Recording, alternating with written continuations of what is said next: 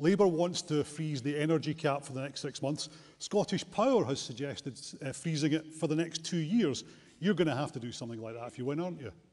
So I don't think that's the right approach. So what I would do is reverse the national insurance increase, but also have a temporary moratorium on the green energy levy. What I worry about is putting a sticking plaster on this problem, saying, yes, we will find this extra money, and then being in the same position in six months' time. If I am elected as Prime Minister, I will not allow another independence referendum. I mean, It's quite frankly balmy for politicians to be trying to focus on a divisive and unnecessary constitutional referendum at a time where people are worried about heating their homes. It's completely balmy. I mean, we're going to get to net zero in 2050, but between now and then, we do need to use the gas that we have here at home. We didn't invest in nuclear early enough.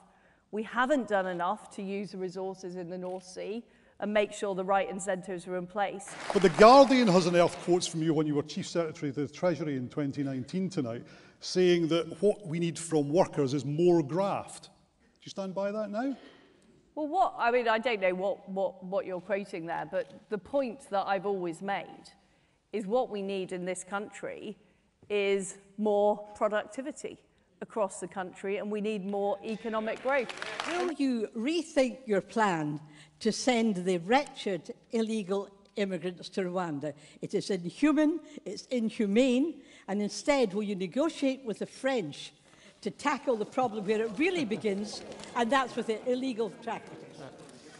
Well, um, so with, with the greatest respect, I'm going to have to say I disagree with you. We will continue to always be that beacon of hope for people around the world, but it must be done fairly, it must be done legally. And making the Rwanda policy work is an important part of getting a grip of this situation.